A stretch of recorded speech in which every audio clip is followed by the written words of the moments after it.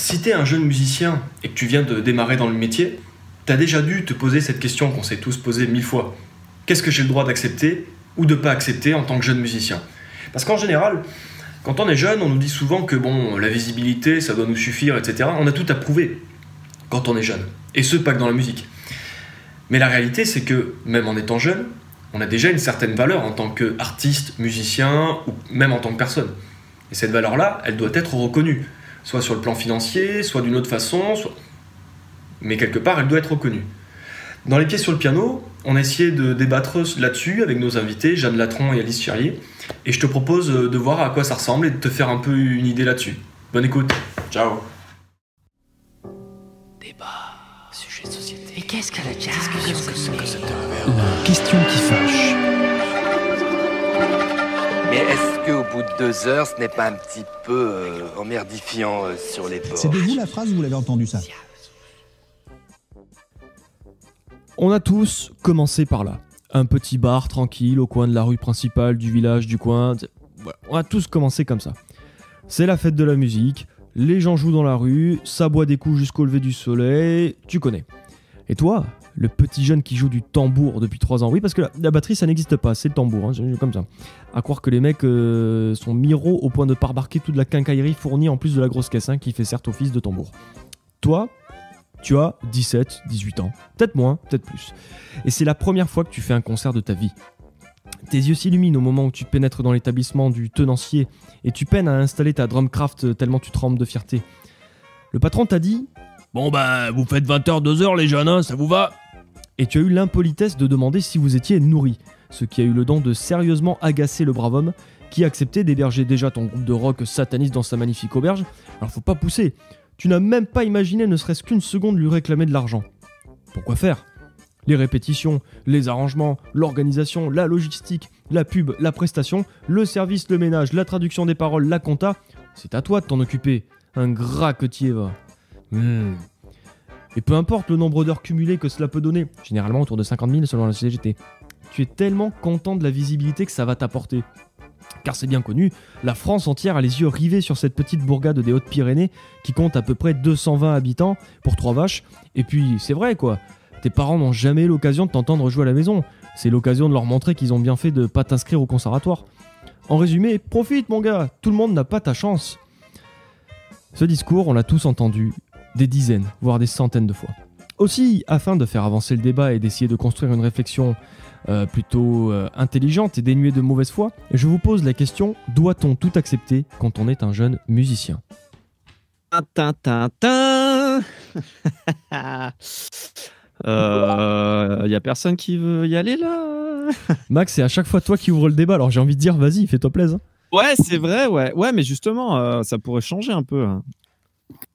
J'ai envie de dire Jeanne, toi qui es ah. une jeune chef d'orchestre, qui a, du coup, qui a du coup dirigé les FSMS deux ans de suite sans toucher un rond.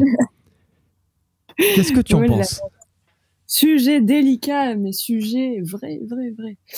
Euh, alors, qu'est-ce que j'en pense? Moi, je vais parler vraiment pour les, les jeunes chefs. Ouais. Voilà, je vais pas me lancer dans le côté musicien, je vous laisserai. Euh, enfin, je dis pas que les jeunes chefs ne sont pas musiciens, mais on s'est compris. Oui, oui, euh, oui, je oui aborder ça. Euh, pour les jeunes chefs, le problème, c'est qu'on a très très peu d'occasions de pouvoir travailler avec les, les, musiciens, les ensembles. Ouais. C'est très rare. Ok? Euh, quand on postule pour des postes de chef assistant à droite à gauche, euh, à l'international, on nous demande de l'expérience. Ouais. Et cette expérience, il faut bien qu'on la fasse cette expérience. C'est sûr, c'est sûr. Sauf que euh, comment voulez-vous arriver euh, devant un quelconque orchestre, dire ah ben je n'ai pas d'expérience, euh, je postule, donnez-moi un salaire, voilà, mais je sais pas ce que ça donnera. Ouais. C'est un peu délicat. C'est un peu délicat. Je sais pas trop quoi répondre à cette question. C'est sûr que, non mais il n'y a pas de réponse définie. Je pense pas. Après c'est c'est chacun plus ou moins avec de la mauvaise foi ou pas. Tu vois. moi je pense perso que on ne doit pas tout accepter quand on est un jeune musicien. Ah parce que tout ça, tout ça englobe vachement trop de trucs. Mais je pense que, effectivement, dans un premier temps, moi, c'est ce que j'ai fait perso. Il y a beaucoup de choses dans un premier temps que j'ai accepté. Euh, après, est-ce que euh, je l'ai accepté parce que ça me faisait plaisir ou parce que j'osais pas euh, demander ce que je pensais au fond de moi mériter ou quoi? Ça, c'est un autre, dé- c'est, c'est- enfin, c'est une autre question. Je pense qui peut venir aussi dans, dans ce débat-là. J'ai envie de demander aux, aux intermittents du spectacle, les gars. Coucou. Euh. Dites, dites-moi donc euh, ce, que- ce que vous en pensez. Je sais qu'avec Hugo, on a eu récemment des discussions à ce sujet et, euh, et on n'était pas spécialement d'accord au début. Donc, euh, je serais curieux d'avoir votre avis.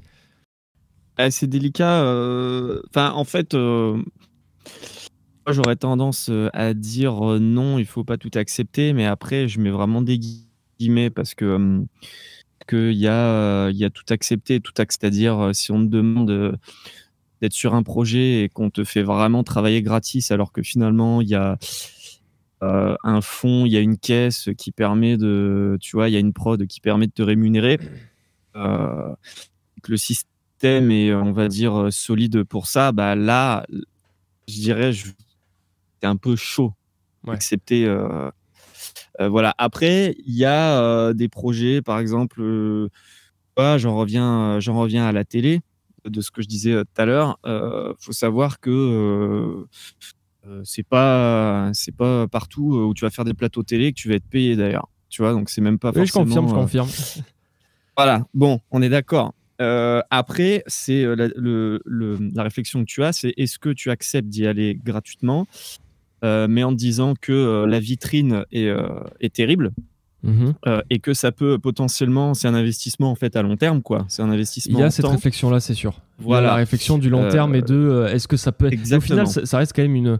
C'est pas accepter n'importe quoi à ce moment-là. C'est déjà un début de réponse en fait. T'acceptes pas n'importe mais quoi. c'est justement ça. C'est justement ça. pas tout. T'acceptes à partir du moment où il y a une certaine rentabilité, qu'elle soit à court terme ou à moyen ter- ou à long Voilà. terme. Alors après, éventuellement, pour des, pour des copains, tu peux, tu peux toujours accepter euh, dans le côté un peu dépannage. Euh, ça, évidemment, je trouve que ça rentre même pas trop dans le débat. non, non, non, non, Il a- faut distinguer ça aussi, je pense. Voilà. Mais- Mais euh, après, euh, c'est sûr que c'est délicat euh, euh, d'accepter euh, un gig, euh, qu'on te dise que tu vas pas être payé, sachant que derrière, il y a une grosse trésorerie et que, euh, que voilà, là, si tu juges qu'il y a de l'exploitation, euh, c'est clair que euh, même si tu as besoin de, je sais pas, de, de te mettre en avant et que tu te dis, tiens, ce gig, il va me permettre de. Enfin, c'est toujours une histoire de jugement sur est-ce que ça va te servir plus tard. Parce qu'à ce moment-là, si ça Ouais, te ouais. sert pas du tout dans le futur et qu'en plus t'es pas payé, moi je vois pas trop l'intérêt d'aller euh, faire euh, une star quoi. Après, moi, j'ai fait des rencontres, j'ai fait pas mal de projets justement dans lesquels finalement ça n'a pas trop duré. Alors, soit pour, pour mille et une raisons, après, il y avait peut-être des fois de l'argent, etc. Certaines conditions ne me plaisaient pas ou quoi. Et c'est vrai qu'au fur et à mesure, ces groupes-là, j'ai fait des rencontres, si tu veux, à chaque fois. Et euh, là où je voyais à chaque fois le groupe comme, euh, comme une fin en soi, si tu veux, comme l'aboutissement d'un truc, en fait, avec le recul, je m'apercevais finalement que c'était juste une étape. Et que sur le, sur Ouais, le, tout à si, fait, je, ouais. si je devais résumer l'expérience du groupe en soi, euh, je dirais que c'était absolument pas rentable, mais que Mhm. par le biais des rencontres que j'ai fait, plus tard, ça m'a Ça t'a servi. en ouvert fait. des portes. Donc Ouais, tu vois ce que sûr. je veux dire Donc il y a aussi Bien ce sûr, truc bien à sûr. prendre en compte. Je sais pas ce que vous en pensez, Hugo, Cyril. Alice aussi, tu peux être, euh, tu peux donner ton avis aussi. Enfin, ça, ça englobe pas. Enfin, je veux dire, les jeunes ne sont pas forcément euh, concernés que dans la musique aussi à ce niveau-là, dans le dans l'exploitation, quoi. C'est aussi les gens qui sont nés, euh, les gens qui sont nés avant 1997 peuvent s'exprimer dans cette émission, quoi. Bah oui. Dans l'artiste qui l'anime. Donc euh, voilà. Euh, bah, je sais pas. Moi justement, je, je me serais retourné vers Alice parce que je pense que cette euh, cette question, elle soulève un autre débat. Évidemment que on fait tous notre petite balance. euh, Comment dire, bénéfice-risque. Enfin, vous voyez le truc, ouais, ça va m'apporter ceci, des ouais. contacts, des connaissances, tout ça. Donc après, on accepte tous des gigs, mais c'est vrai que d'un point de vue extérieur, moi, de savoir que euh, des personnes ici présentes et, beaucoup ailleurs euh, ont fait des, des prestats pour la télé, pour euh, bah, Culture Box, Arte, ce que vous voulez, et n'ont pas eu un minimum syndical de, par exemple, 150 euros déclarés, et je répète minimum, je dis pas que moi je l'aurais pas fait pour la visibilité que ça apporte justement, mais est-ce qu'il n'y aurait pas un problème derrière? Est-ce qu'il n'y aurait pas moyen, même si c'est peut-être un petit peu euh, communiste euh, et, comme, comme point de vue, mais de, de légiférer, de faire un truc là-dessus pour qu'on soit plus amené à se poser la question et qu'on dise ok bah c'est normal, les employeurs ont l'obligation de, de payer. euh, je parle pas pour les petits bars, mais pour les grosses structures où il y a de la trésorerie. Est-ce qu'il y aurait En- pas un en moyen? C'est quoi la solution en fait? En fait, euh, c'est c'est déjà, c'est déjà lég- légiféré. En fait, Euh, le problème c'est qu'il faut pas mélanger les lois qui sont en place et les personnes qui les respectent ou non.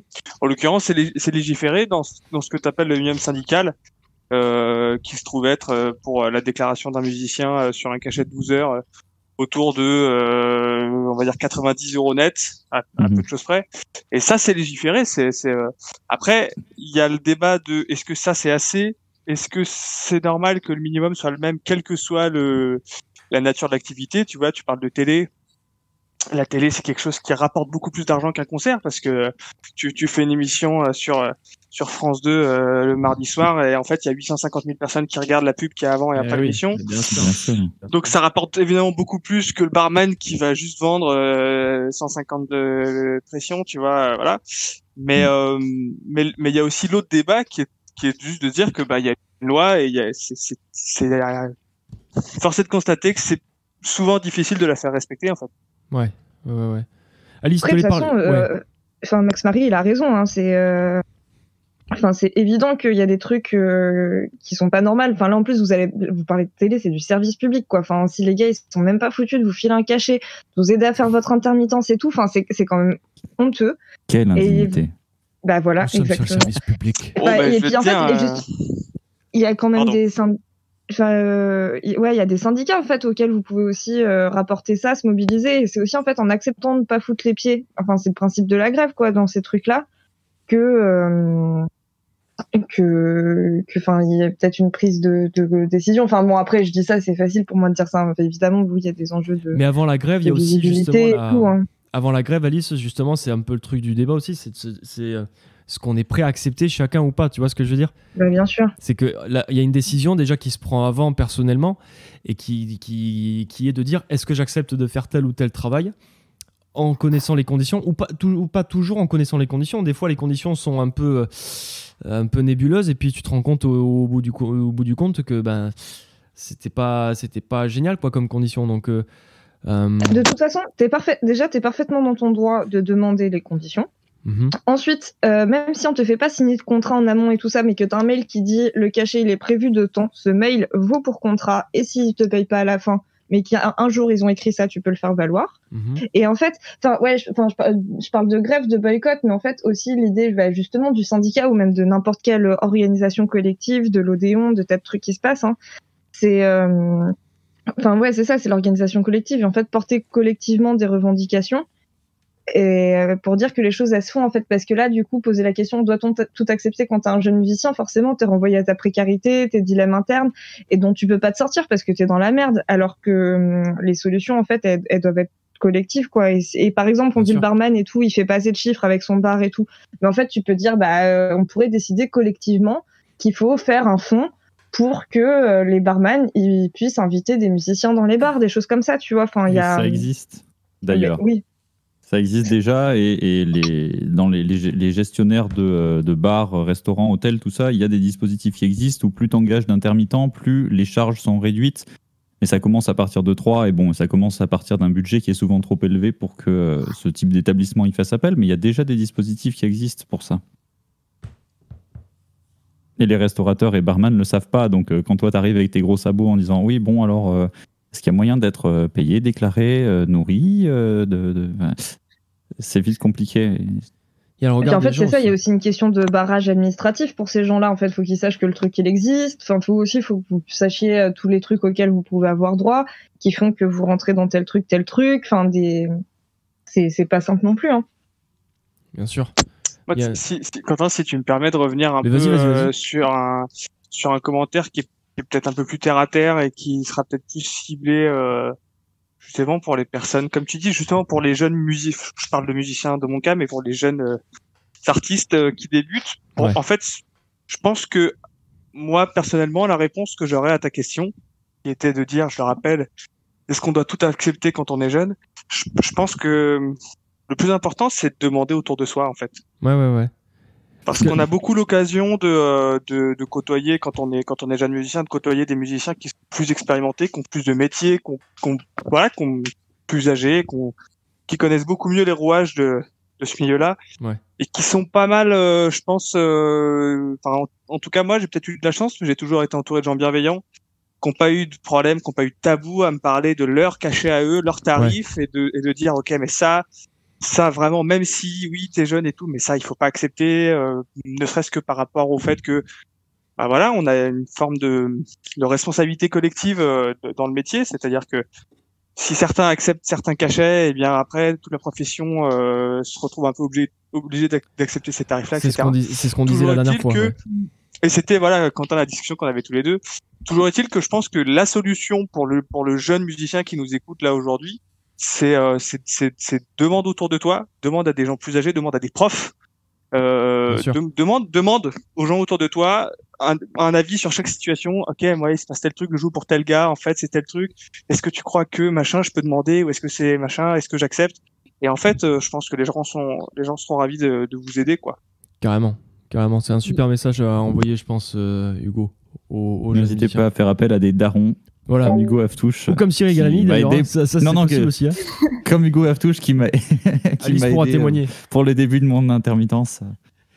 Ouais, vaste c'est pas moi le grand daron là Vaste sujet, mais euh, je pense que ce sera intéressant d'y revenir dans une prochaine émission et de développer un peu plus, euh, peut-être avec d'autres personnes aussi euh, de ce milieu-là. Les amis, merci de- d'avoir suivi ce débat. Je vous propose qu'on se dirige tout droit vers la fin de l'émission avec la dernière partie, les jeux.